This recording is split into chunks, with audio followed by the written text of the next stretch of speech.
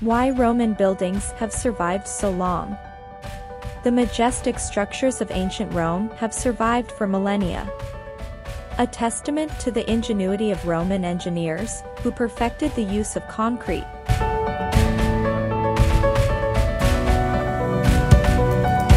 But how did their construction materials help keep colossal buildings like the Pantheon, which has the world's largest unreinforced dome, and the Colosseum standing for more than 2,000 years?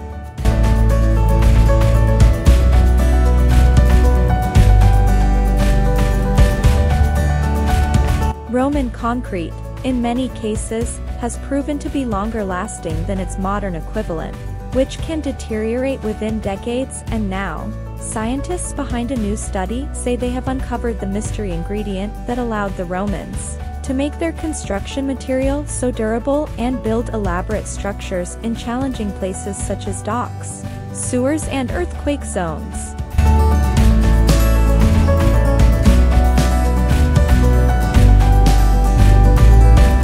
They found that white chunks in the concrete, referred to as lime clasts, gave the concrete the ability to heal cracks that formed over time.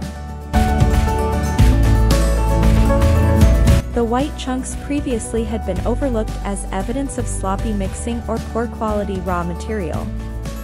The new finding could help make manufacturing today's concrete more sustainable, potentially shaking up society as the Romans once did.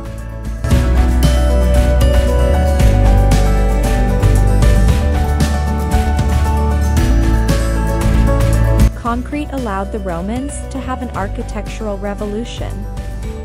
Romans were able to create and turn the cities into something that is extraordinary and beautiful to live in. And that revolution basically changed completely the way humans live.